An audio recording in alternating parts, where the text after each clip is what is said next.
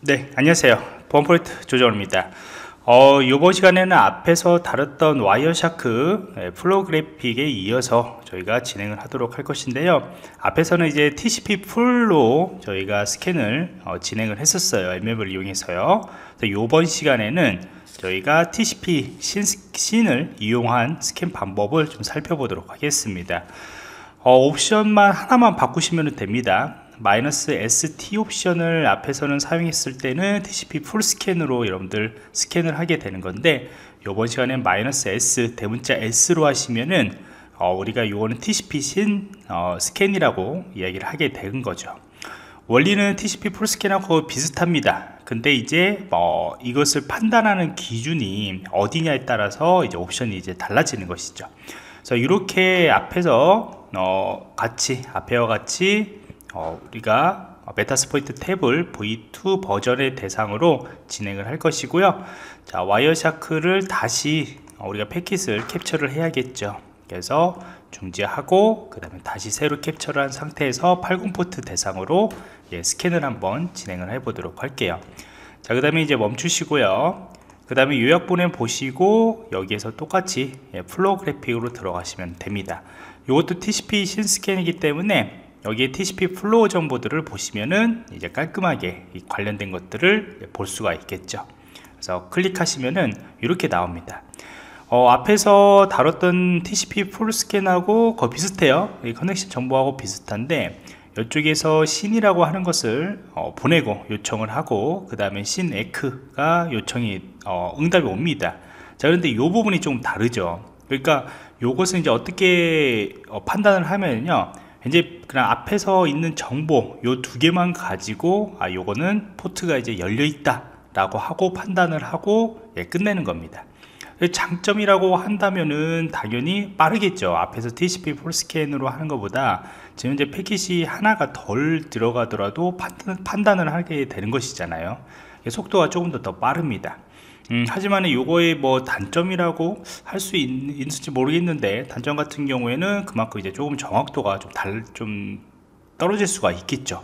예, 더 많은 정보들을 보고 판단할 수가 있는데 바로 그냥 요 앞에 있는 것만 보고 판단을 하기 때문에요. 그래서 어떤 앞에 장비들 IDS 장비 같은 거나 뭐 방어벽들이 있을 때 요것들이 조금 정확도가 떨어질 수는 있다 라는 것이 이제 요 스캔의 어 이제 특징이다 라고 보시면 될 것 같습니다.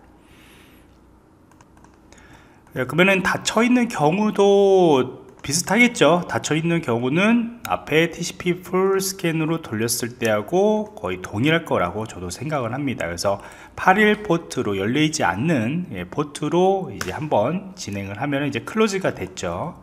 그 다음에 이것을 한번 다시 한번 확인을 해 보시면은 어, 우리가 flow 그래픽으로 한번 확인했을 때 그 다음에 TCP flow로 봤을 때는 TCP full 스캔하고 돌렸을 때하고 어, 동일합니다. 어, SYN했는데 바로 이제 예, 종료되는 것을 볼 수가 있겠죠? 자 그래서 이렇게 나오면은 아 이거는 close가 됐다 라고 판단을 하게 됩니다 자, 그 다음에 이제 다른 옵션을 살펴볼 건데, 마이너스 SP 옵션을 좀 살펴보도록 할게요. 마이너스 SP 옵션이라고 하는 것은, 어, 우리가 핑하고 똑같다 보시면 됩니다. 핑처럼, 어, 요 호스트가 살아있냐, 예, 죽었냐, 요 정보들을 이제 확인하는 그 옵션인 것이고요. 요것을 중지를 시키고, 그 다음에 다시 또 실행해서 패킷을 캡처를 하도록 하겠습니다. 그래서 이렇게 캡처를 뜨시고, 이제 한번 확인을 해 볼게요. 딱 정보들을 보시면은, 별로 없죠 ARP 정보들만 이렇게 ping으로 보는 것을 어, 확인이 됩니다 자 그 다음에 이것을 이제 다시 저희가 flow 그래픽으로 보시면은 별 내용이 없어요. 지금 딱 보시면은. 네, 그래서 TCP flow는 당연히 없고요. 그냥 all flow 패킷을 보시면은 요게 예, 요 패킷 정보라고 보시면 됩니다. 그래서 이쪽 보면 who has 어, 누가 요 대역에 대해서 가지고 있냐 요 IP에 대해서 가지고 있냐 라고 ARP 프로토콜을 이용해서 요청을 하면은 여기서 이제 응답을 하겠죠. 응답을 이렇게 합니다. 그래서 딱 요 정보들만 예, 찍히는 것을 예, 볼 수가 있죠. 그래서 여러분들이 Nmap이라는 것을 이용해서 이렇게 어, 포트 스캔을 하는 과정들 이런 것들을 확인을 할 때는 이렇게 어, 와이어샤크의 예, flow 그래픽을 한 번씩 보시면서 판단하시면 좋습니다. 자, 그 다음에 마이너스 SC 옵션이라고 있는데 마이너스 SC 옵션 같은 경우는 조금 복잡합니다. 어, 스크립트 우리가 Nmap 스크립트를 이제 동작시키는 예, 그러한 어, 스캔인 것이고요. 어, 보통 이제 마이너스 SV 옵션까지 같이 이렇게 진행을 하게 돼요. 진행하는데 마이너스 SC 옵션만 우선 붙이도록 하겠습니다 너무 패킷 정보가 많이 들어오기 때문에요 자 그래서 요거는 또 어떤 식으로 나타나는가 그냥 사례만 좀 보도록 할게요 그래서 Nmap NSE까지 동작을 시킨다 자 그래서 이렇게 보시면은 뒤에 굉장히 많은 패킷들이 예, 동작되는 것을 볼 수가 있겠죠 Nmap NSE 같은 경우에는 뭐 뒤쪽에서 더 자세히 스크립트 활용 방법들을 좀 설명을 드리도록 할 것인데 요거는 어, 실제 어떤 취약점 진단까지 포함되는 겁니다. 이렇게 포트 진단만 하는 것이 아니고 여기다가 어떠한 그 HTTP는 HTTP 버전 정보 같은 거나 FTP 같은 경우에도 실제 이것들이 어, 우리가 익명으로 연결이 되는가? 뭐 이런 정보들까지 어, 다 확인하는 네, 그런 어, 스크립트의 모음 어, 디폴트 스크립트의 모음이라고 보시면 됩니다. 그래서 지금 보면 이제 결과도 거의 안 나오죠. 음, 결과도 뒤에 이제 계속 지연이 되고 있는데 어, 많은 패킷 정보들이 교환을 하기 때문에 결과가 늦어지는 거예요. 어, 실무에서는 더 많은 어, 시간들이 이제 소요가 될 수밖에 없고요. 그래서 한참 좀 기다리시면은 정보들이 이제 나올 겁니다. 근데 정보들이 그냥 포트 정보만 나오지는 않을 거고 어, 상당히 많은 그런 다양한 정보들이 어, 나올 겁니다. 이렇게 보시면은 뭐 딱 봐도 예, 딱 봐도 지금 FTP 같은 경우에는 이렇게 인명으로 연결되어 있다 뭐 허용되어 있다 이런 정보들 그 다음에 SNTP 정보들 그 다음에 팔공포트 정보 같은 경우에도 타이틀 정보나 그런 것까지 다 나오는 것을 볼 수가 있겠죠 여기다가 마이너스 SV 옵션 버전 정보까지 상세하게 보는 것까지 하면 더 많은 정보들이 나오게 돼요. 네, 너무나 많았기 때문에 제가 어, 옵션을 저런 식으로 선택을 했고요.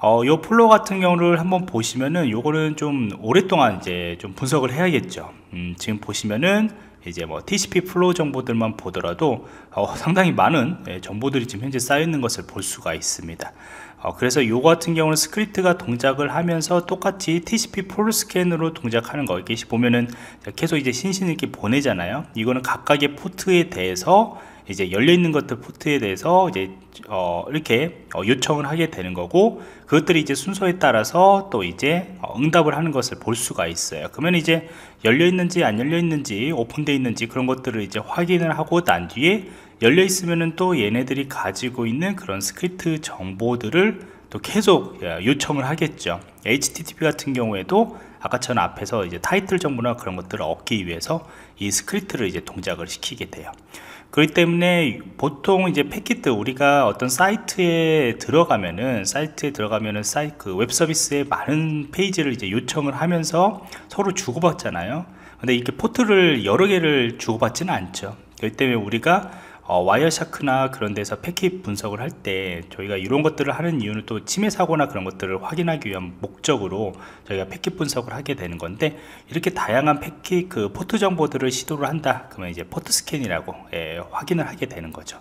그렇기 때문에 이런 flow들을 이제 확인하게 되는 것이고 이러한 그 packet flow 같은 거 예, flow graph 같은 경우에는 실질적으로 내가 동작을 시켰는데 어, 이게 중간에 이제 뭐 SYN을 보냈는데 정상적으로 보낸 것은 확인됐는데 뭐 응답이 뭐 안 온다거나 아예 안 온다거나 그러면 이제 뭔가 방화벽이 방화벽이 있다거나 뭐 이런 현상 아니면은 어느 서버 쪽에서 응답을 제대로, 제대로 하고 있지 않다거나 이런 것들을 이제 분석을 할 때 또 활용을 하곤 합니다 자, 그래서 여기까지 우리가 Wireshark의 flow graph에 대해서 몇 가지 사례를 보고 보면서 이렇게 살펴봤습니다. 여러분들도 한번 활용해 보시기 바랍니다.